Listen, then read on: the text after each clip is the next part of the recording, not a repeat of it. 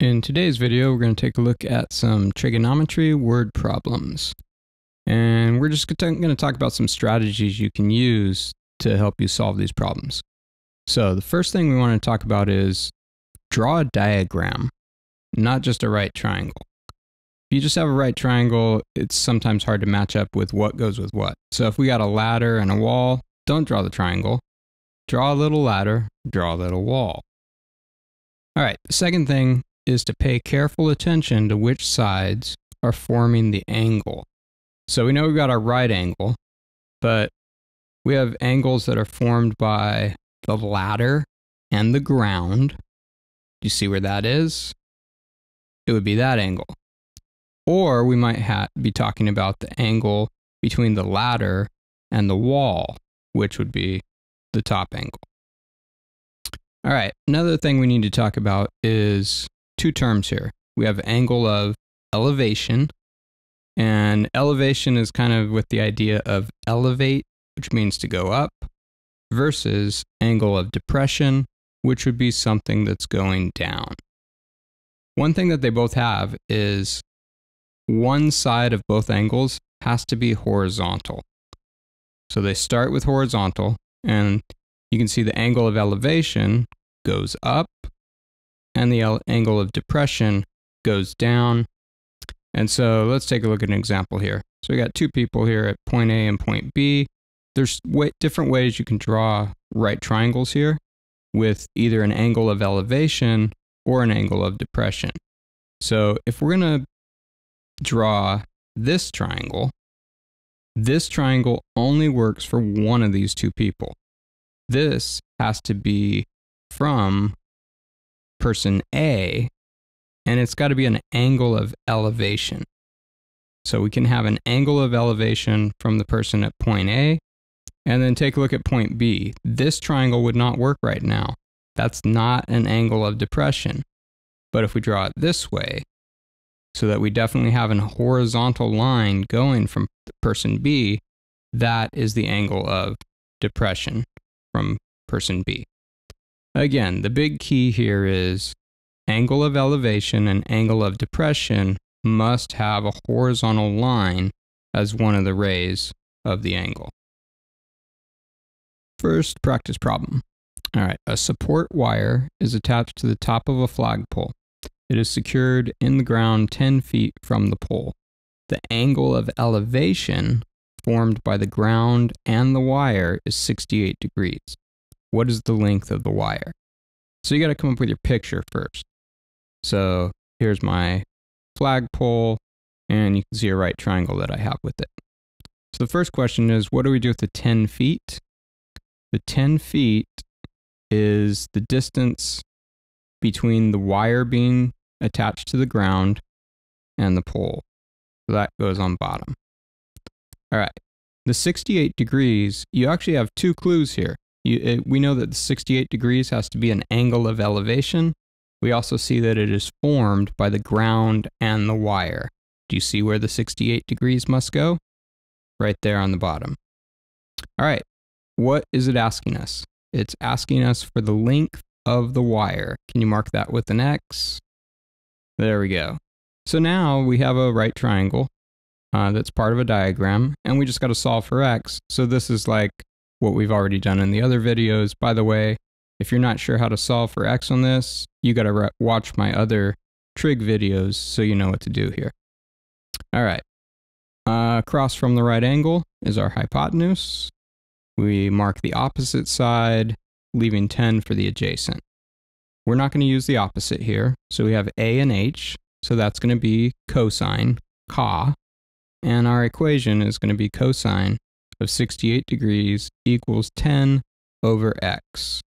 Multiply both sides by x, and we're left with x times cosine of 68 degrees equals 10. And then when we divide both sides by cosine of 68 degrees, our answer is on the right.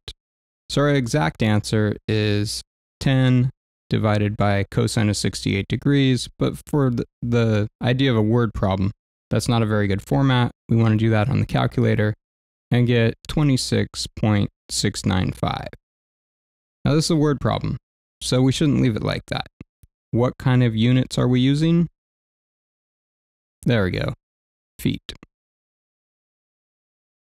Second example problem. An airplane that is 3,500 feet above the ground prepares to land at the airport. If the angle of depression from the plane to the airport is 12 degrees and the plane descends in a straight line, what distance will the plane travel to reach the airport? So we need to draw a plane, and there's my fancy airport landing strip. All right, so we know the plane's gonna gonna fly from where it's at to the airport. Now, when you look at what I have here, there's two ways that we might draw a right triangle. We could draw a right triangle that way, and that makes sense when we're thinking about 35 feet above the ground. We'd want to go directly down from the airplane to talk about that 3,500 feet. The problem is we need an angle of depression. That means from the airplane, this right triangle will not work. We need a horizontal line from the airplane. So that right triangle, that's going to be an angle of depression. So this can be tricky because it's the 3,500 feet is not going to be measured where you think it would be measured. But the key is that you get the angle of depression right. So with this triangle, uh, we can go ahead and take a look at where's the 3,500 feet. That's going to be our leg over on the right side. Our 12 degrees, that is the angle of depression, which we can see is going to be from the airplane. So it's up there at the top with the horizontal line. All right, it's asking us to find the distance the plane will travel. So that is where we need to put our x. And now we just have to solve the SOHCAHTOA problem. So mark our hypotenuse, our opposite, and our adjacent. Um, we can cross out the adjacent on this one. So we have opposite and hypotenuse. That is so. So we're going to use sine. Sine of 12 degrees equals 3,500 divided by x. So we're going to solve this similar to the first problem. Multiply both sides by x. And then divide by sine of 12 degrees. So our exact answer is 3500 divided by sine of 12 degrees. Do that on your calculator, and you get 16,834 and 70 thousandths. Um, again, you should include units, and this problem was measured in feet. All right, it is now time for practice problems. So go ahead and when you see the problem, go ahead and pause the video and go through your steps, draw your diagram, and then try to place the given information where it's supposed to go. And that should lead to a SOHCAHTOA problem that you need to solve. Here's your first problem. Here's a diagram with our ladder and the wall. Again, you may have chose to, to draw it coming from the other side. That's fine. We should end up with the same answer. Um, the eight foot ladder is our hypotenuse, and the 72 degree angle is formed with the ground. So it's got to go on the bottom. And then we are trying to find how high up the wall is. It lands on the wall. All right. Hypotenuse, opposite, adjacent. We're not using the adjacent. So this is another sine problem. This is so. So we have sine of 72 degrees equals x divided by 8. This is the easier one to solve compared to our first two. Multiply both sides by 8, and you're looking at your exact answer, 8 times the sine of 72 degrees.